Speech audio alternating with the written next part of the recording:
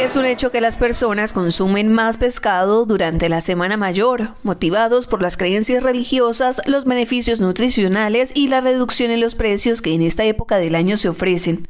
En este sentido, grandes son las expectativas de quienes comercializan el producto y más teniendo en cuenta que las ventas han estado a la baja. Por estos días está muy solo. No hay temporada, nada, está solo, solo, solo. Esperando que se componga ahorita para Semana Santa. Pues sí, esperando a ver si se compone ahorita la Semana Santa. Los precios están normales, por ahorita están normales. No está muy caro tampoco.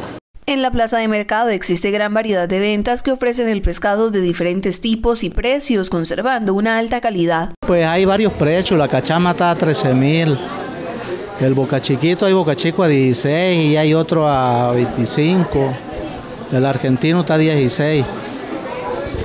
¿Cuál es el que más se vende por esta época? Por ahorita todo se vende lo que hay, porque como está de escaso se vende todo lo que hay.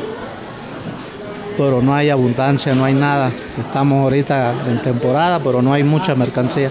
Vendedores piden a la comunidad comprar el pescado en lugares autorizados para garantizar una buena calidad.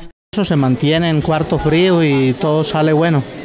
Ahorita no hay cargas así irregulares, nada, puro pescado bueno. Invitar a la gente, don Naín, a que pues venga a la plaza de mercado, a que los apoye ustedes como comerciantes y a que consuman también eh, eh, el pescado en esta época de Semana Santa. Claro, invitar a la gente del pueblo que vengan aquí a la mesa de Naín Pavón, que es pescado de buena calidad.